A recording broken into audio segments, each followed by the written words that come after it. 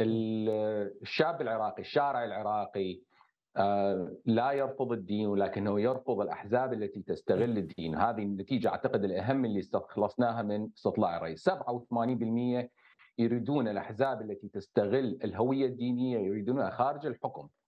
لكن 75% يريدون يكون الإسلام إما مصدر الوحيد للتشريع أو مصدرا من مصادر التشريع. تمام. هناك.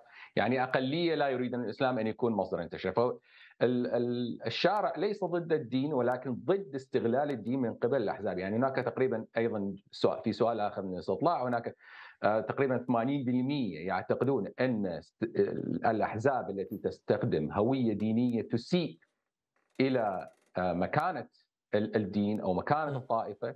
وتستغل مشاعر المواطنين مشاعر الناس لأغراض ولمكاسب دنيوية. هذا أعتقد جزء مهم، الجزء الآخر أعتقد إذا رجعنا لانتخابات 2020 جزء نقطة جدا مهمة كانت هناك فرصة ذهبية للشارع العراقي المؤمن بالتغيير لانتزاع زمام المبادرة من الأحزاب الدينية من أحزاب السلطة السائدة، يعني إذا القينا نظرة على الارقام النتائج الانتخابات السابقة نعم. كل الأحزاب اللي تتبنى الهويات الفرعية سواء دينية أو إثنية شهدت انخفاض كبير في معدل في في أعداد أصوات إذا أحكي عن الاعداد المطلقة. يعني مقتدى الصدر كان مليون و300 ألف صوت حصل على 900 ألف صوت أو أقل.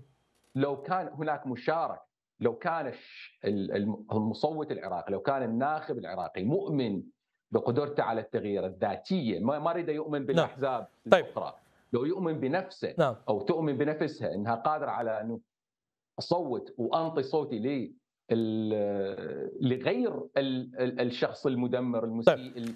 الفاشل فأعتقد إنه هناك أمل في التغيير ولو ولو نجي إن شاء الله للانتخابات القادمة